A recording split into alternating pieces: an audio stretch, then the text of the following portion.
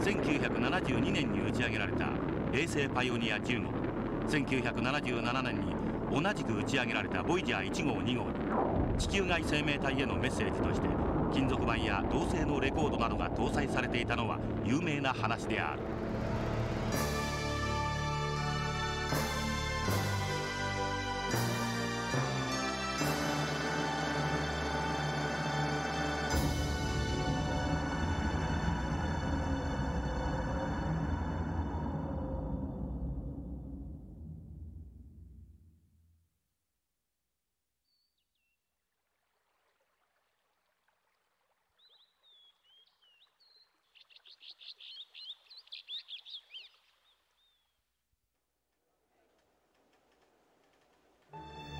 所長たった今未確認の宇宙放射線がキャッチされました。前から気になっていた聖域内でかなりの規模の爆発反応があったのか。違います。全く違う波長レベルの放射線です。何？21世紀中頃すでに地球の総人口は100億にも達しようとしており人々は居住区をコロニーや各星々に求めるようになっていったまたこの移住計画に伴い宇宙開発は急速に進んでいた。そんなある日至る所で未確認の宇宙放射線がディスクに記録された。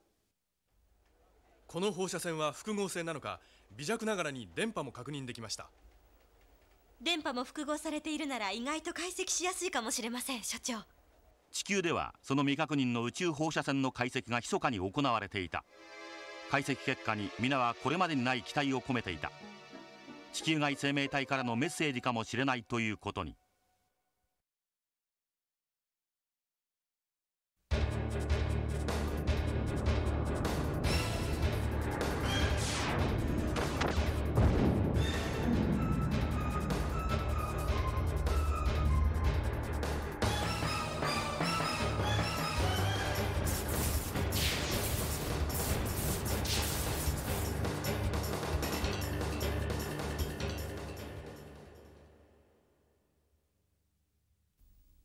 これは使えんな。はい。開拓手段にしては破壊能力がありすぎます。機能を停止してここに保管するしかないか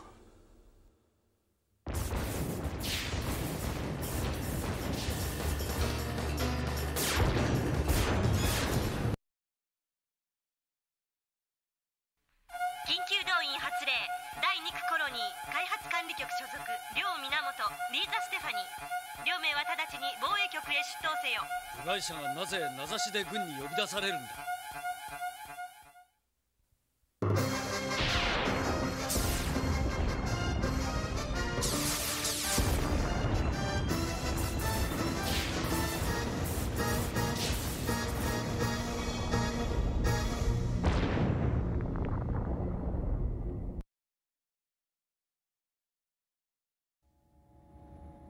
現在軍が有する兵器では奴らに太刀打ちできない。我々の最後の手段としてフォースを整備しこれをオプションとするため多目的探査艇をフォース操作に耐えうるようにバージョンアップした。開発コード R9 としてこれしかなかったのだ。だからってなぜ技術屋の俺が？一つは多目的探査艇のベテランたちは軍に取られたこと。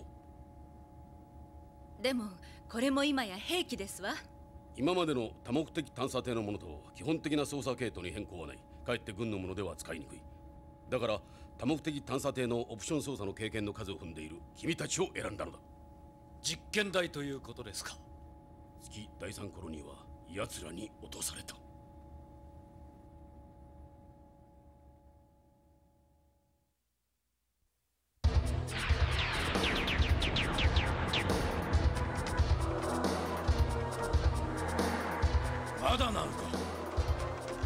もう少しかかります。ただ放射線ではないのは確かです。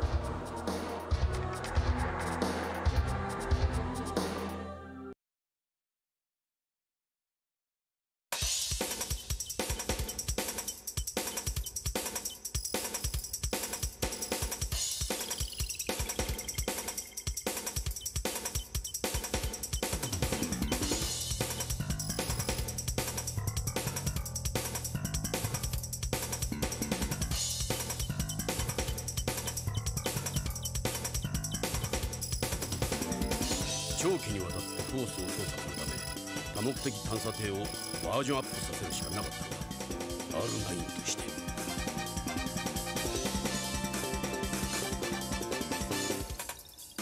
所長わわかりました本当かすぐに NASA いえ政府に連絡してくださいこれは地球外生命体からの観測員たちにはこう聞こえたかもしれないこの星の運命は力となすこの星を破壊する。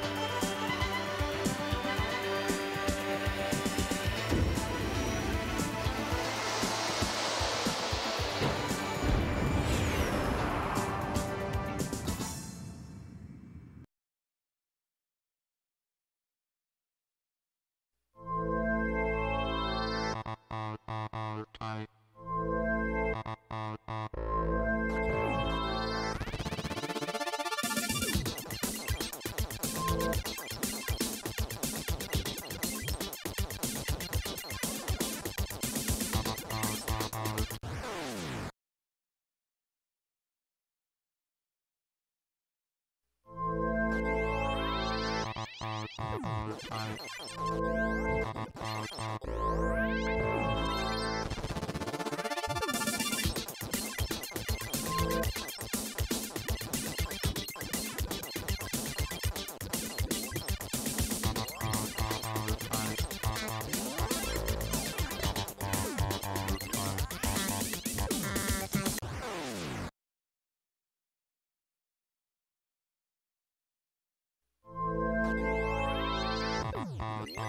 Bye.